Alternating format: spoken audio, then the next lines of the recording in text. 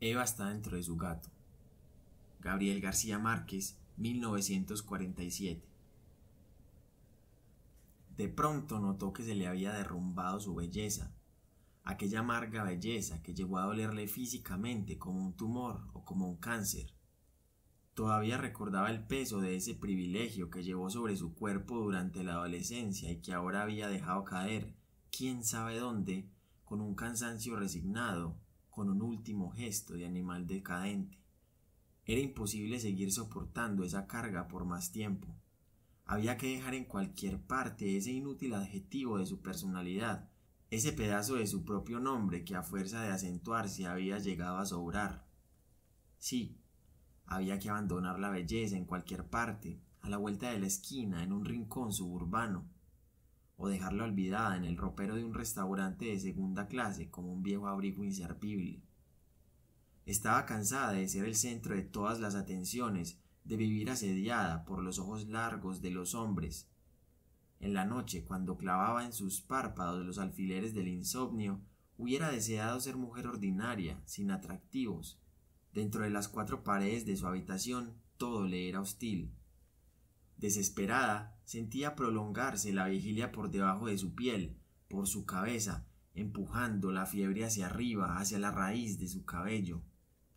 Era como si sus arterias se hubieran poblado de unos insectos diminutos y calientes que con la cercanía de la madrugada diariamente se despertaban y recorrían con sus patas movedizas en una desgarradora aventura subcutánea ese pedazo de barro frutecido donde se había localizado su belleza anatómica. En vano luchaba por ahuyentar a aquellos animales terribles. No podía. Eran parte de su propio organismo. Habían estado allí vivos desde mucho antes de su existencia física. Venían desde el corazón de su padre que los había alimentado dolorosamente en sus noches de soledad desesperada o tal vez habían desembocado a sus arterias por el cordón que la llevó atada a su madre desde el principio del mundo. Era indudable que esos insectos no habían nacido espontáneamente dentro de su cuerpo. Ella sabía que venían de atrás, que todos los que llevaron su apellido tuvieron que soportarlos, que tuvieron que sufrirlos como ella cuando el insomnio se hacía invencible hasta la madrugada. Eran esos insectos los mismos que pintaban ese gesto amargo esa tristeza inconsolable en el rostro de sus antepasados. Ella los había visto mirar desde su apagada existencia, desde su retrato antiguo, víctima de esa misma angustia. Todavía recordaba el rostro inquietante de la bisabuela, que desde su lienzo envejecido pedía un minuto de descanso, un segundo de paz a esos insectos que allá, en los canales de su sangre, seguían martirizándola y embelleciéndola despiadadamente. No, esos insectos no eran suyos. Venían transmitiéndose de generación a generación, sosteniendo con su diminuta armadura todo el prestigio de una casta selecta, dolorosamente selecta. Esos insectos habían nacido en el vientre de la primera madre que tuvo una hija bella, pero era necesario, urgente, detener esa herencia. Alguien tenía que renunciar a seguir transmitiendo esa belleza artificial, de nada valía a las mujeres de su estirpe admirarse de sí mismas al regresar al espejo si durante las noches esos animales hacían su labor lenta y eficaz, sin descanso, con una constancia de siglos. Ya no era una belleza, era una enfermedad que había que detener, que había que cortar en forma enérgica y radical. Todavía recordaba las horas interminables en aquel lecho sembrado de agujas calientes, aquellas noches en que ella trataba de empujar el tiempo para que con la llegada del día esas bestias dejaran de doler. ¿De qué servía una belleza así? Noche a noche, un día en su desesperación, pensaba que más le hubiera valido ser una mujer vulgar o ser hombre, pero no tener esa virtud inútil, alimentada por insectos de remotos orígenes que le estaban precipitando la llegada irrevocable de la muerte. Tal vez sería feliz si tuviera el mismo desgarbo, esa misma fealdad desolada de su amiga checoslovaca que tenía nombre de perro. Más le hubiera valido ser fea para tener un sueño apacible como el de cualquier cristiano. Maldijo a sus antepasados. Ellos tenían la culpa de su vigilia. Ellos que habían transmitido esa belleza invariable, exacta, como si después de muertas las madres sacudieran y renovaran las cabezas para injertarlas en los troncos de las hijas. Era como si la misma cabeza, una cabeza sola, hubiera venido transmitiéndose con unas mismas orejas, con igual nariz, con idéntica boca, con su pesada inteligencia en todas las mujeres, quienes tenían que recibirla irremediablemente como un doloroso patrimonio de belleza. Era allí, en la transmisión de la cabeza, donde venía ese microbio eterno que a través de las generaciones se había acentuado, había tomado personalidad, fuerza, hasta convertirse en un ser invencible, en una enfermedad incurable que al llegar a ella, después de haber pasado por un complicado proceso de censuración, ya ni podía soportarse y era amarga y dolorosa, exactamente como un tumor o como un cáncer. En esas horas de desvelo era cuando se acordaba de las cosas desagradables a su fina sensibilidad. Recordaba esos objetos que constituían el universo sentimental donde se habían cultivado, como en un caldo químico, aquellos microbios desesperantes. En esas noches, con los redondos ojos abiertos y asombrados, soportaba el peso de la oscuridad que caía sobre sus sienes como un plomo derretido. En derredor suyo dormían todas las cosas, y desde su rincón ella trataba de repasar, para distraer su sueño, sus recuerdos infantiles.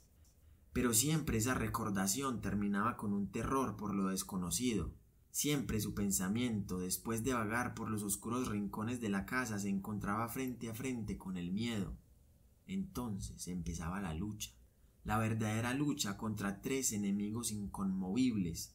No podía, no, no podría jamás sacudir el miedo de su cabeza. Tenía que soportarlo apretado a su garganta, y todo por vivir en ese caserón antiguo, por dormir sola en aquel rincón, apartada del resto del mundo. Siempre su pensamiento se iba por los húmedos pasadizos oscuros, sacudiendo los retratos de polvo seco cubierto de telarañas. Ese polvo inquietante y tremendo que caía de arriba, desde ese sitio en que se estaban deshaciendo los huesos de sus antepasados. Invariablemente se acordaba del niño. Allá lo imaginaba, sonámbulo, debajo de la hierba, en el patio junto al naranjo, con un puñado de tierra mojada dentro de la boca. Le parecía verlo en su fondo arcilloso, cavando hacia arriba con las uñas, con los dientes, huyéndole al frío que le mordía la espalda, buscando la salida al patio por ese pequeño túnel donde lo habían metido con los caracoles. En el invierno lo oía llorar con su llanto chiquito, sucio de barro traspasado por la lluvia.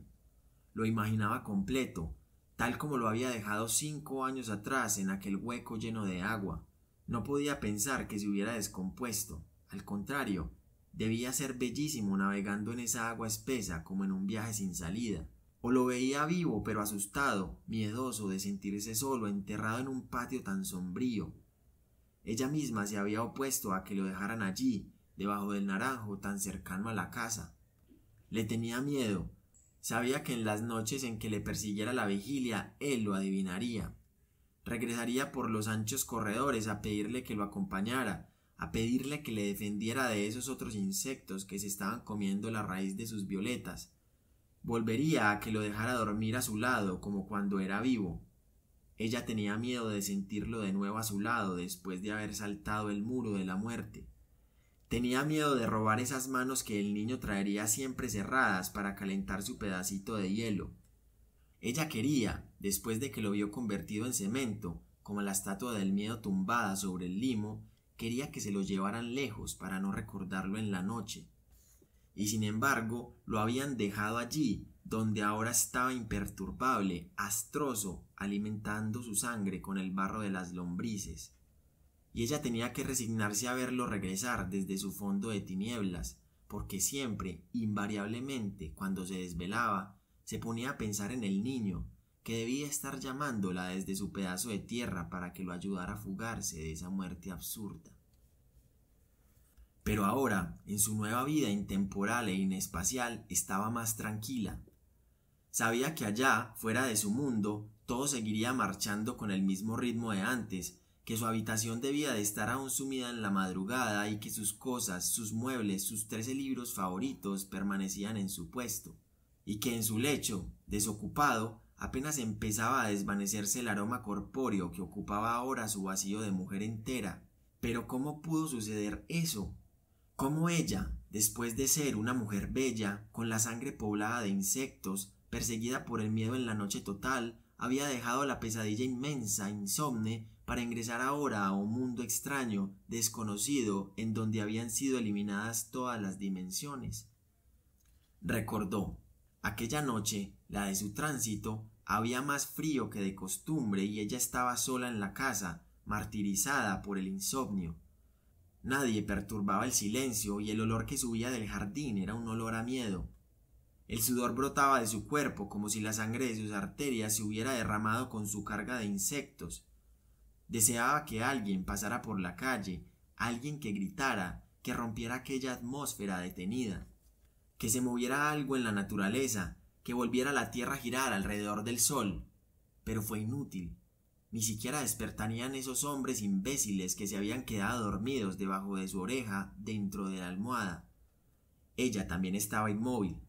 Las paredes manaban un fuerte olor a pintura fresca, ese olor espeso, grande, que no se siente con el olfato sino con el estómago, y sobre la mesa el reloj único golpeando el silencio con su máquina mortal.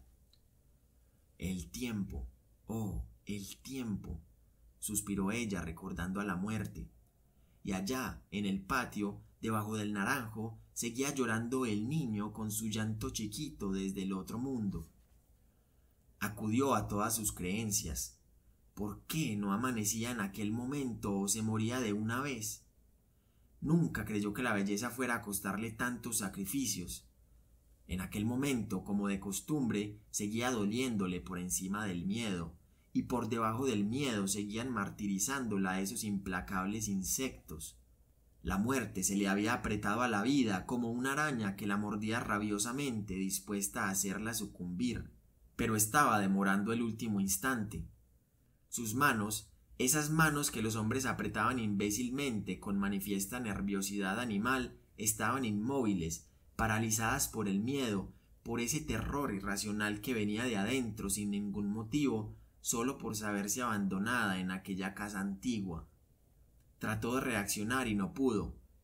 El miedo la había absorbido totalmente y continuaba allí, fijo, tenaz, casi corpóreo, como si fuera una persona invisible que se había propuesto no salir de su habitación. Y lo que más la intranquilizaba era que ese miedo no tuviera justificación alguna, que fuera un miedo único, sin razón, un miedo porque sí. La saliva se había vuelto espesa en su lengua. Era mortificante entre sus dientes esa goma dura que se le pegaba al paladar y fluía sin que ella pudiera contenerla. Era un deseo distinto a la sed, un deseo superior que estaba experimentando por primera vez en su vida. Por un momento se olvidó de su belleza, de su insomnio y de su miedo irracional. Se desconoció a sí misma. Por un instante creyó que habían salido los microbios de su cuerpo, Sentía que se habían venido pegados a su saliva. Sí, todo eso estaba muy bien. Bien que los insectos la hubieran despoblado y que ahora pudiera dormir, pero era necesario encontrar un medio para disolver aquella resina que le embotaba la lengua. Si pudiera llegar hasta la despensa y... ¿Pero en qué estaba pensando? Tuvo un golpe de sorpresa. Nunca había sentido ese deseo, la urgencia de la acidez la había debilitado, volviendo inútil la disciplina que había seguido fielmente durante tantos años, desde el día en que sepultaron al niño. Era una tontería, pero sentía asco de comerse una naranja. Sabía que el niño había subido hasta los azahares y que las frutas del próximo otoño estarían hinchadas de su carne, refrescada con la tremenda frescura de su muerte. No, no podía comerlas, Sabía que debajo de cada naranjo en todo el mundo había un niño enterrado que endulzaba las frutas con la cal de sus huesos. Sin embargo, ahora tenía que comerse una naranja. Era el único remedio para esa goma que la estaba ahogando. Era una tontería pensar que el niño estaba dentro de una fruta. Aprovecharía ese momento en que la belleza había dejado de dolerle para llegar hasta la despensa. Pero no era raro aquello. Era la primera vez en su vida que sentía verdaderos deseos de comerse una naranja. Se puso alegre, alegre. ¡Ah! ¡Qué placer comerse una naranja! No sabía por qué, pero nunca tuvo un deseo más imperativo. Se levantaría, feliz de ser otra vez una mujer normal, cantando alegremente, llegaría hasta la despensa, cantando alegremente como una mujer nueva, recién nacida. Llegaría inclusive hasta el patio y... Su recuerdo se tronchaba de pronto. Recordaba que había tratado de levantarse y que ya no estaba en su cama, que había desaparecido su cuerpo, que no estaban allí sus trece libros favoritos y que ella no era ya ella. Ahora estaba incorpórea, flotando, vagando sobre una nada absoluta, convertida en un punto amorfo, pequeñísimo, sin dirección. No podía precisar lo sucedido, estaba confundida, solo tenía la sensación de que alguien la había empujado al vacío desde lo alto de un precipicio. Y nada más. Pero ahora no sentía ninguna reacción, se sentía convertida en un ser abstracto, imaginario, se sentía convertida en una mujer incorpórea, algo como si de pronto hubiera ingresado en ese alto y desconocido mundo de los espíritus puros. Volvió a tener miedo, pero era un miedo distinto al del momento anterior. Ya no era el miedo al llanto del niño, era un terror por lo extraño, por lo misterioso y desconocido de su nuevo mundo, y pensar que después de todo eso había sucedido tan inocentemente, con tanta ingenuidad de su parte, ¿Qué iba a decir a su madre cuando al llegar a la casa se fuera a enterar de lo acontecido? Empezó a pensar en la alarma que se produciría en los vecinos cuando abrieran la puerta de su habitación y descubrieran que el lecho estaba vacío, que las cerraduras no habían sido tocadas, que nadie había podido entrar o salir y que sin embargo ella no estaba allí. Imaginó el gesto desesperado de su madre buscándola por toda la habitación, haciendo conjeturas, preguntándose a sí misma qué habría sido de esa niña. La escena se le presentaba clara. Acudirían los vecinos y empezarían a tejer comentarios, algunos maliciosos, sobre su desaparición. Cada cual pensaría según su propio y particular modo de pensar. Cada cual trataría de dar la explicación más lógica, la más aceptable al menos, en tanto que su madre correría por los pasadizos del caserón, desesperada, llamándola por su nombre. Y ella estaría allí, contemplaría el momento, detalle a detalle, desde un rincón, desde el techo, desde las hendiduras del muro, desde cualquier parte, desde el ángulo más propicio, escudada por su estado incorpóreo, en su inespacialidad. La tranquilizaba pensarlo. Ahora se daba cuenta de su error. No podría dar ninguna explicación, aclarar nada, consolar a nadie. Ningún ser vivo podría ser informado de su transformación. Ahora, quizás la única vez que los necesitaba, no tendría una boca, unos brazos para que todos supieran que ella estaba allí, en su rincón, separada del mundo tridimensional por una distancia insalvable. En su nueva vida estaba aislada, totalmente impedida de captar sensaciones, pero a cada momento algo vibraba en ella, un estremecimiento que la recorría, inundándola, la hacía saber de ese otro universo físico que se movía fuera de su mundo. No oía, no veía, pero sabía de ese sonido y de esa visión. Y allá, en la altura de su mundo superior, empezó a saber que un ambiente de angustia la rodeaba. Hacía apenas un segundo, de acuerdo con nuestro mundo temporal, que se había realizado el tránsito, de manera que sólo ahora empezaba ella a conocer las modalidades las características de su nuevo mundo. En torno suyo giraba una oscuridad absoluta y radical. ¿Hasta cuándo durarían esas tinieblas? Tendría que acostumbrarse a ellas eternamente. Su angustia aumentó de concentración al saberse un día en esa niebla espesa e impenetrable. Estaría en el limbo. Se estremeció. Recordó todo lo que había oído decir alguna vez sobre el limbo.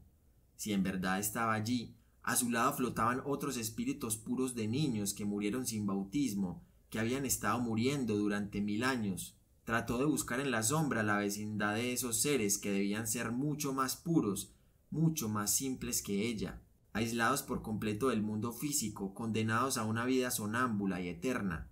Tal vez estaba el niño persiguiendo una salida para llegar hasta su cuerpo. Pero no. ¿Por qué tendría que estar en el limbo? ¿Acaso había muerto? No, simplemente fue un cambio de estado, un tránsito normal del mundo físico a un mundo más fácil, descomplicado, en el que habían sido eliminadas todas las dimensiones. Ahora no tenía que sufrir esos insectos subcutáneos. Su belleza se había derrumbado.